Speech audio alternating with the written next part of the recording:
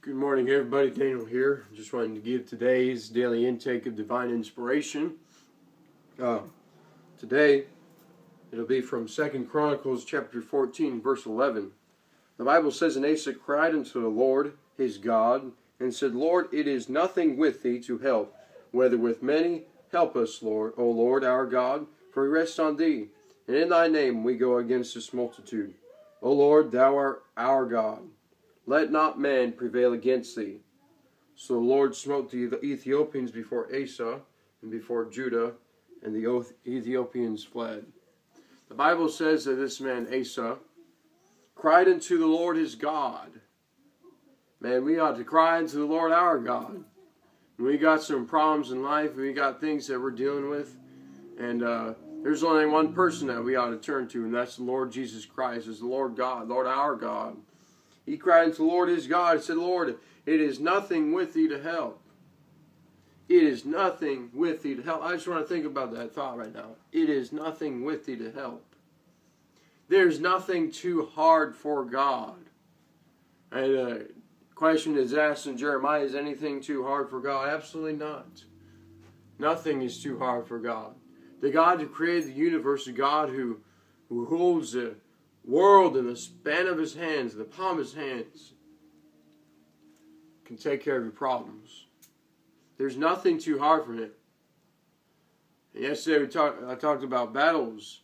Now you got some battles in life.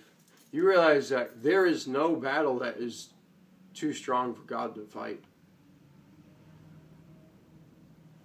And you know, I think in Numbers it talks about how uh, how can one go against a thousand or two go against uh, hundred thousand or something like that.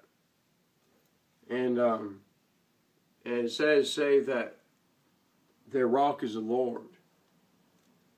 You see, there's nothing too hard for God.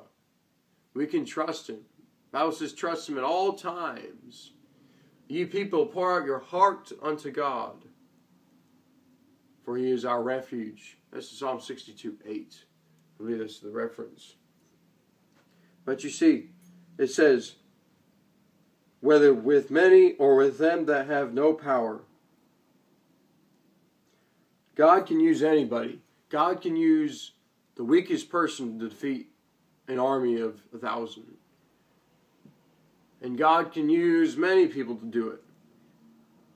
The means that God brings you to victory doesn't matter as long as God is getting the glory.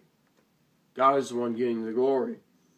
It says, For we rest on thee. Do you rest on God today? Do you rest on the Lord? Do you rest on the fact that there is nothing too hard for Him? I think a lot of times we don't. We fail to do that. We fail to trust in Him. We fail to trust in His care for us. We fail to trust in the fact that He does care for us. And He's going to take care of our problems.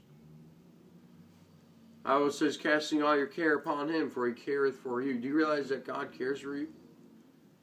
He knows the number, how much hairs on your head. He knows the numbers of them.